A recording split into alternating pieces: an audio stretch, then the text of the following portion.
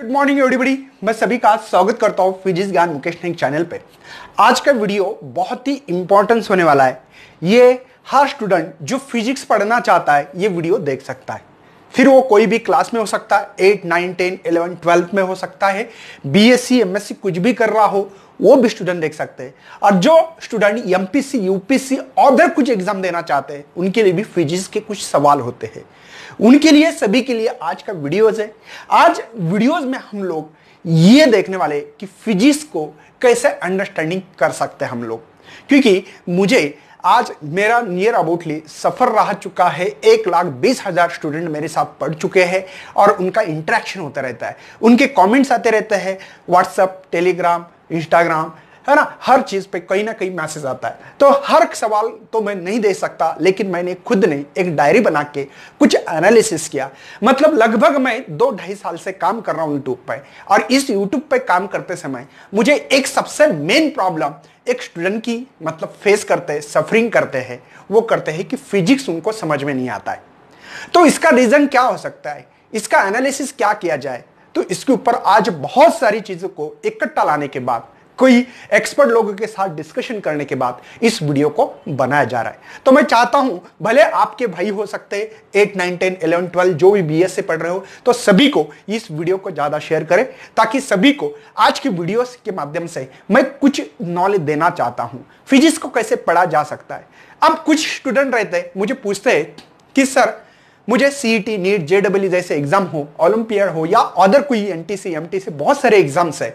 In exam में physics में उनको बुक्स तो पूरी याद होती है। फार्मूलेज पूरे याद होते हैं। लर्न किए वाले रहते कुछ डिफिनेशन हो सकती है स्टेटमेंट हो सकते, कुछ एप्लीकेशन हो सकते, कुछ लॉज हो सकते, रट्टा मारा वाला रहता है। क्या इसका फ़ायदा होगा सर हम लोगों को? तो मेरा आंसर होगा बच्चों, ऐसा होता नहीं है। दूसरी बात, कुछ स्टूडेंट कहते कि सर, मुझे ये बुक्स पूरी की पूरी याद है फार्मूले भी रट्टा मार चुका हूँ मैं, है ना? या डेरिवेशन में मैंने दस बार लिख के देखे हैं। न्यूमेरिकल भी बहुत सारे सॉल्व करता हूँ। लेकिन बुक्स में जितने उतने। लेकिन बाहर का कोई न्यूमेरिकल आता है, या कुछ एमसीक्यूज आप लोग सॉल्व करते हैं, तब उस एमसीक्यू से आप लोग लटक जाते हो। मतलब उसको सॉल्व नहीं कर सकते। तो क्या इसके लिए क्या कोई प्लान है आपके पास? या क्या किया जाए सर कि इस फिजिक्स को हम लोग समझ पाए? एक्चुअली आपको पता है कि फिजिक्स की जो डिफाइन बनी जाती है उसको मराठी में हम लोग या भौतिक शास्त्र बोलते हैं, मराठी हिंदी में, या पदार्थ विज्ञान कहा जाता है। तो ये चीज़ों को, इसका नाम ही भौतिक शास्त्र।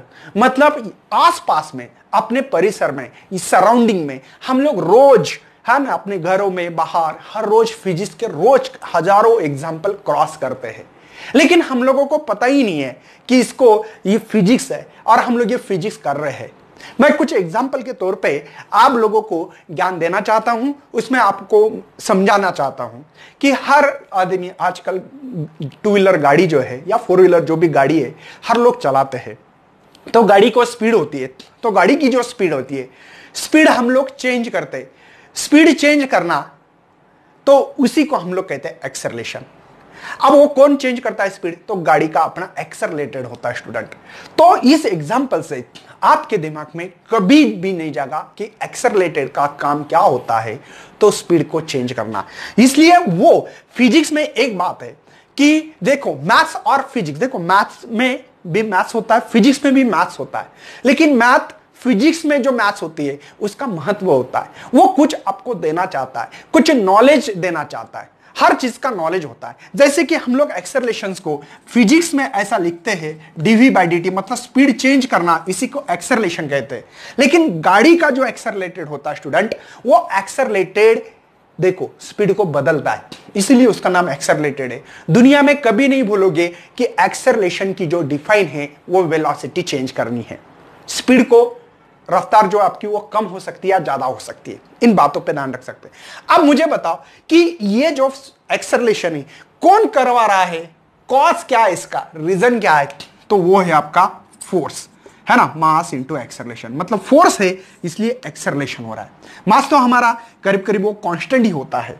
ठीक है? वो स्पीड ऑफ़ द लाइट में थोड़ा सा मास चेंज हो सकता है, लेकिन हमारे यहाँ पे हम लोग जो डेली लाइफ में देखते हैं, ये कांस्टेंट है। मतलब फोर्स एक्सरलेशन को तैयार कर रहा है।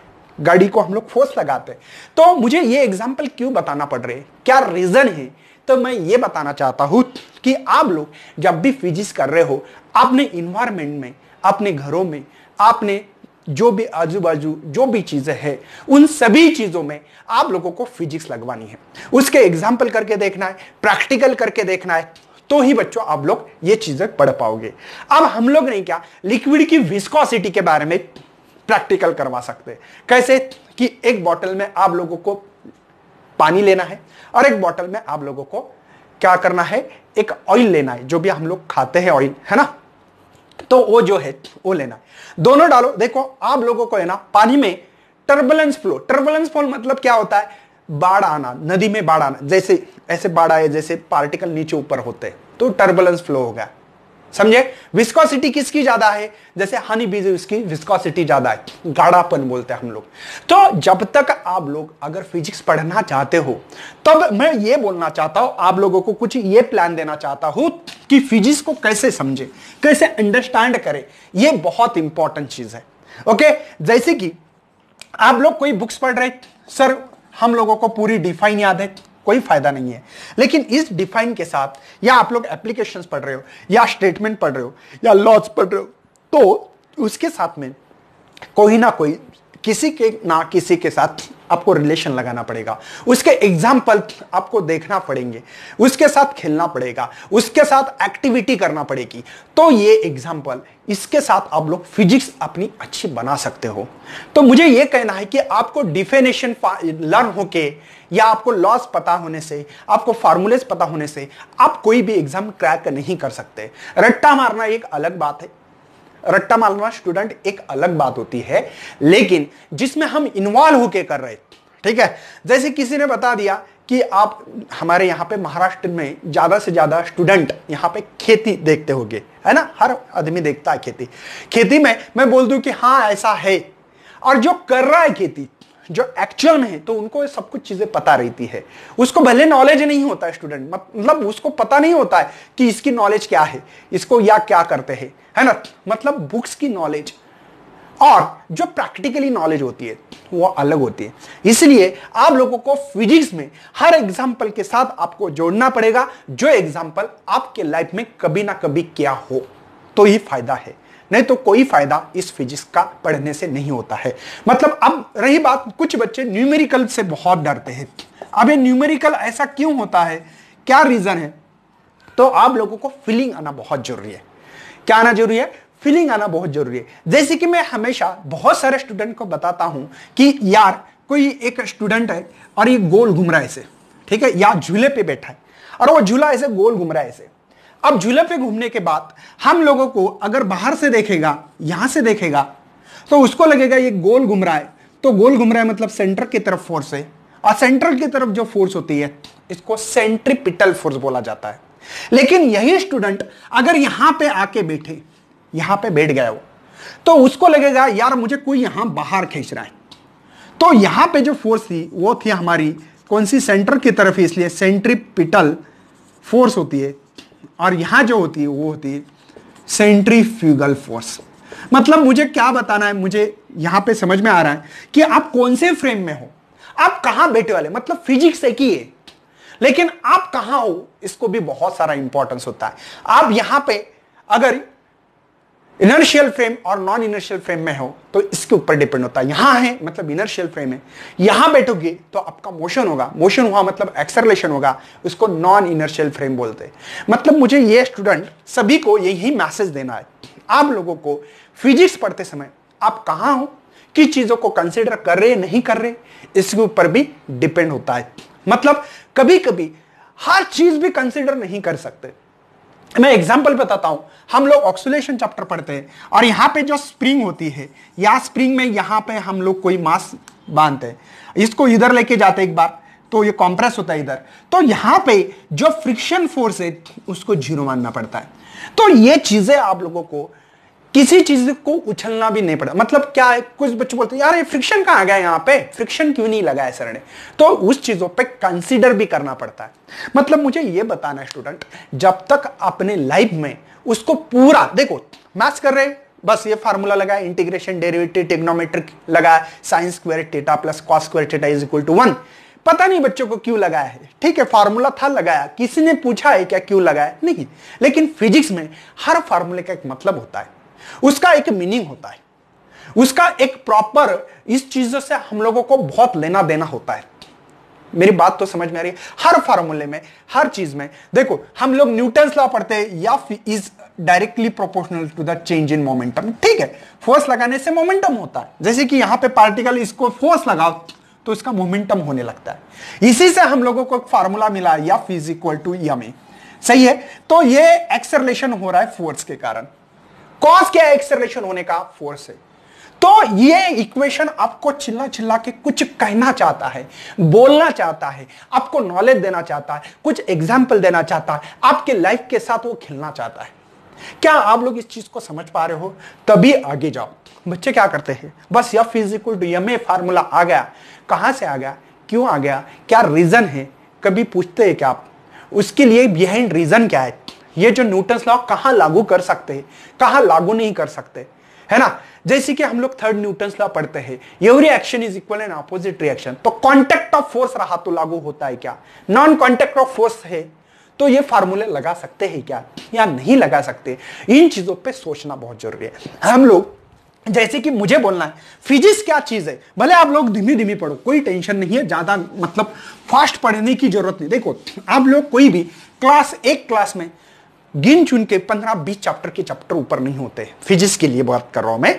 जैसे केमिस्ट हो बायोलॉजी हो मैथ्स हो। फिजिक्स भी जैसे कि इलेवन ट्वेल्थ को पढ़ाता हूँ, चौदह चैप्टर है इलेवंथ में। ट्वेल्थ में आप लोगों को जो चैप्टर है वो सोलह है। तो स्टूडेंट सोलह चैप्टर के लिए इतना समय क्यों दिया गया है? एक्चुअली दोनों मिला के हम लोग पकड़ते हैं तीस चैप्टर वाले थर्टी चैप्टर है इलेवन ट्वेल्व के लिए। एक्चुअली इसके लिए कितने दिन है? पकड़ते कंसिडर कर रहे हैं। हम लोग सात से दिन पकड़ेंगे, ठीक है? कि दो साल है, ज़्यादा है, लेकिन मैं पकड़ रहा हूँ सात सौ दिन। क्या तीस चैप्टर करने के लिए सात सौ दिन लगते हैं? नहीं तो इतनी ना समय देने का रीजन क्या हो सकता है? इन बातों पे समझना आपको। इतने दिन इसलिए दिए हैं, अगर हम लोग इसको थर्टी से डिवाइड भी करते हैं, है ना?